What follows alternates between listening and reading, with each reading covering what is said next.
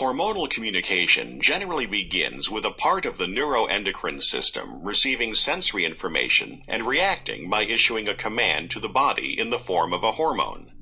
In this example, dehydration is detected by osmoreceptors in the hypothalamus, which then directs or stimulates the posterior pituitary gland to release antidiuretic hormone, ADH. The next step is to transport the hormone molecules to target cells. This is typically done via the bloodstream.